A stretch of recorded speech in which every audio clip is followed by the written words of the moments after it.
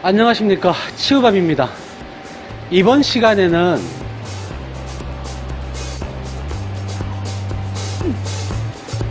이 제품을 가공을 했습니다.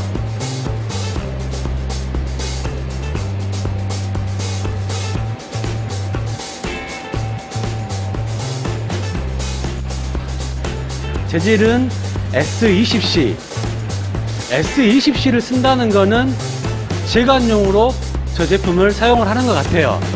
보통 45C나 440이나 어, 이런 애들은 용접용으로 사용하는 재질은 아니랍니다. 그래서 주로 용접을 하려고 그러면 S20C를 사용한다거나 이런 부분이 있는데 S20C 특징이 뭐냐면 재질 자체는 굉장히 물러요.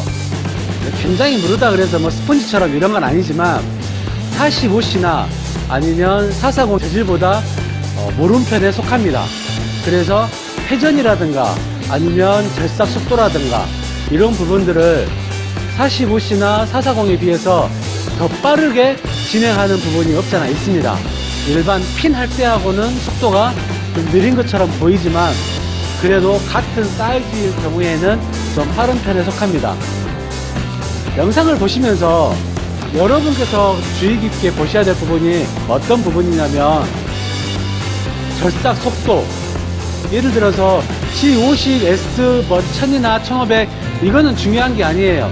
얘는 어 그냥 최대 회전수를 정해주는 거기 때문에 얘는 중요한 게 아니고 그 밑에를 보시면 G96 S100 아니면 G96 S150 S180 이거. 그 다음에 그 스피드 F0.15 F0.2 이런 부분들을 주의 깊게 보셔야 됩니다. 그래서 이 사이즈의 제품을 할 때는 어느 정도의 속도로 가는지 그 다음에 어느 정도의 회전으로 핀들이 돌아가는지 이런 부분들을 주의 깊게 보시면 됩니다. 그러면 영상 보시겠습니다